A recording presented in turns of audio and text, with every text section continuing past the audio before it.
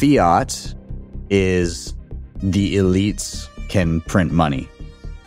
Crypto is everyone can print money, and Bitcoin is no one can print money. What is Bitcoin? Bitcoin is an agreement on a fixed set of rules. So it allows human beings to interact with one another completely consensually and voluntarily by running a mathematical formula in the back of their heads. And uh, we use computers to help us do the calculations. But at its core, Bitcoin is really a part of us, and, uh, and the computers are just fancy abacuses. So, Bitcoin is a promise of a different life. And I know that that's kind of a, like a touchy feely answer, I guess, to it. But that's really what it is, right? You're in a system right now where you are, you have little control, um, little to no control over um, what the government is going to do with the money, what the monetary policy is going to be um, you can't make decisions based on something that you don't know. And so, like, I think that often people think of Bitcoin and they're like, well, it's hyper volatile. How can people make decisions based on Bitcoin?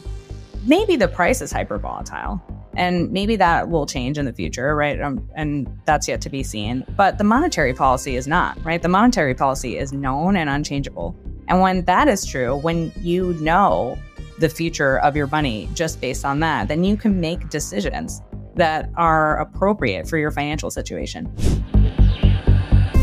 Bitcoin is a technical innovation, actually an invention or a discovery, maybe is a different way of saying it. And and the what is it? The discovery is the notion of quote unquote provable digital scarcity. So if you think of things that are digital, like you know files on your computer or sound bites or you know um, I don't know sound songs or whatever, you know everything digital, photograph, everything digital is copyable. You make a million copies of something digital, you just push you know copy. But what if you had something that was digital that couldn't be copied, that you knew how many there were, you knew where they were, you knew that you couldn't, you know, there was no way to falsify one and you could send it and transfer it to anybody anywhere. You know, in a sense, what if you had a quote unquote digital form of, of a gold like thing where the stock to flow was very low? In fact, ultimately, the stock to flow would become, you know, infinite because there, there will be no flow at some point when we get to the last coin being mined. And you knew it was provable, you knew it was immutable, and you could see it. You know, everyone, anyone could audit it and see it at, at any point in time.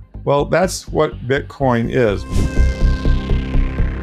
Bitcoin is a journey. It's not a destination. You go through these uh, understandings of why Bitcoin is so important, what a beautiful technology it is, why the fiat system, and that's where I come at things, why the fiat system is nothing more than an inflating credit bubble that uh, has to go on forever, which means your fiat dollar will be debased with 100% certainty.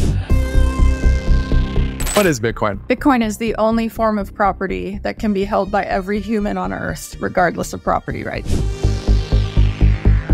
What is Bitcoin? What is Bitcoin? I would say Bitcoin is, you know, a peer-to-peer decentralized ledger technology that allows units of value to be transferred between users in an extremely secure way and it's all under underlined by energy.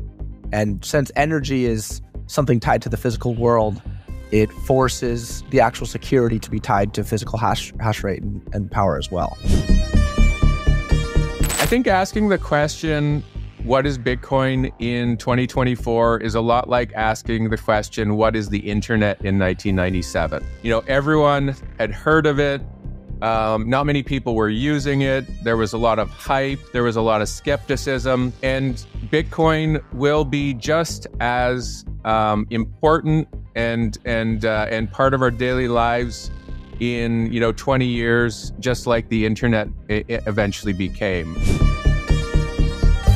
What is Bitcoin? At a high level, Bitcoin is the greatest invention in human history. It's so much more than digital money. It's so much more than, you know, it's the first money in human history that can't be controlled by anyone, can't be printed, and uh, can't be controlled or shut down. Not a, not even a nuclear bomb can, you know, stop Bitcoin. So I think that's very interesting. We've never created anything scarce online before Bitcoin. So I think it's not only a monetary uh, revolution and marvel, but it is also a computer science revolution and marvel. It is the greatest thing that humans have ever discovered. Bitcoin is money, and money is not an investment. It's not like a stock or a bond. There's no yield. There's no rights that are conferred by owning Bitcoin other than the ownership of the Bitcoin itself. And point of money is to take the value that you create with your time and store it to use it later. And if you're trying to do that with dollars, you're going to have a bad time because as you are attempting to store your value, the government's just printing more dollars. And so, you know, we leads to inflation like we're seeing right now. And so Bitcoin is better pretty simply because the government can't print more.